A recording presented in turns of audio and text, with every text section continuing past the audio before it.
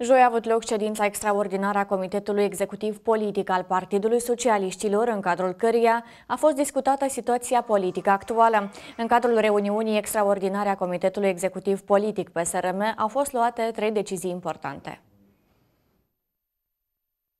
PSRM va continua să poarte discuții și va insista pe pozițiile expuse în decizia Consiliului Republican din data de 12 aprilie 2019. Pachetul de legi pentru adoptare în mod prioritar, inclusiv cele de ordin social-economic, dar și celor de domeniul relațiilor interetnice, consolidarea instituțiilor statului, revenirea la împuternicirile președintelui Republicii Moldova care au fost în vigoare până la data de 1 octombrie 2016, partajarea responsabilității în procesul de guvernare.